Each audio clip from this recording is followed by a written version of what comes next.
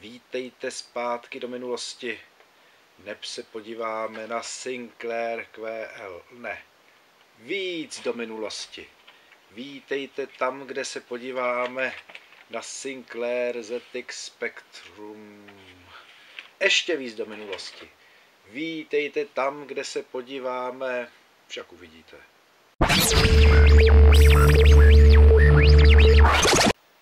Toho roku, roku 1981, když se objevil Sinclair ZX81, působil jako zjevení. Nejenom díky ceně, která byla pod 100 liber, byl i mnohem pokročilejší než jeho předchůdce ZX80. Umožňoval pohybovat na obrazovce grafikou. Grafikou. ZX81 je pořád velmi jednoduchý počítač. Základu nabízel jenom 1 KB RAM, severoamerické a brazilské verzi 2 KB, textový režim s pseudografikou, byť byl schopen různými triky dosáhnout i grafického režimu, vzhledem k tomu, že data zobrazovaná na obrazovce v každém mikrořádku bylo možno určovat procesorem. Dnes mezi ostatními 8-bitovými počítači může stále působit jako zjevení. Exemplář, který vidíme, nemá tradiční membránovou klávesnici, ale má gumovou jako gumák.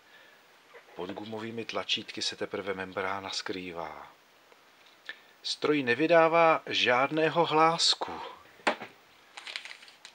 I když moderní periferie, která rozšiřuje paměť a umožňuje připojení SD karty, obsahuje i zvukový čip.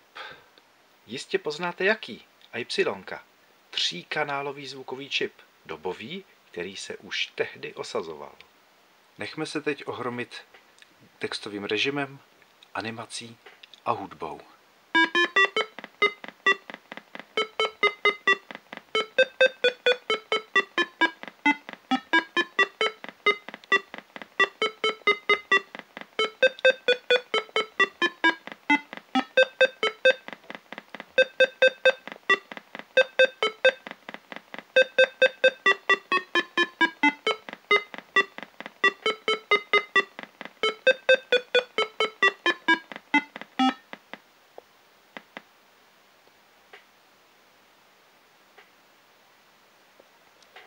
Tancující démon původně vznikl pro TRS-80 s jeho textovým režimem a teprve dodatečně byl portován na ZX81.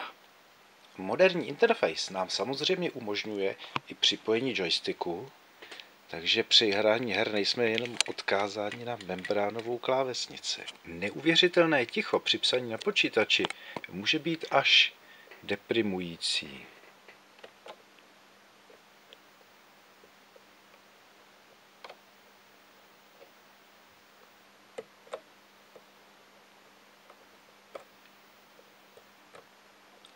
Vypisujeme obsah SD karty.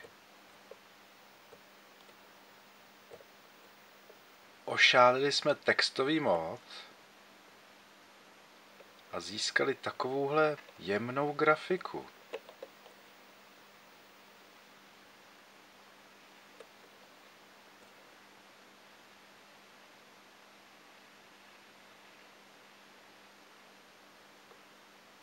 Jedna z prvních her, které se vymanily z limitů textového režimu, je Manic Miner od Aleše Martiníka. Česká tvorba, respektive tehdy ještě československá.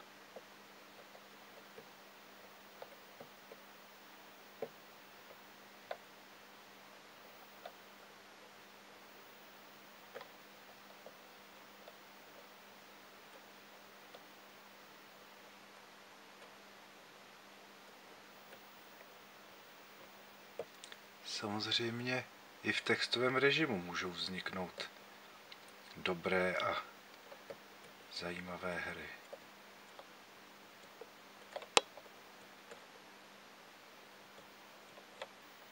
Během hry je stále ticho.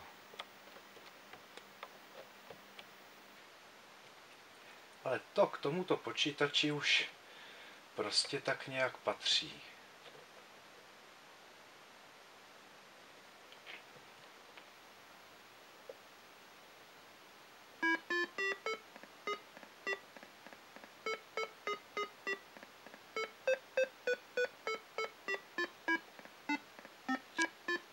Věřte, nevěřte, i tak to může vypadat rozšířený Sinclair ZX81.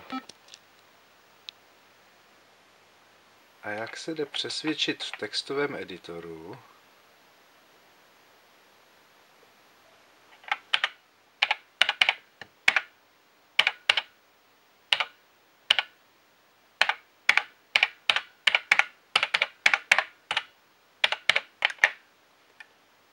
tak psát se na tom dá.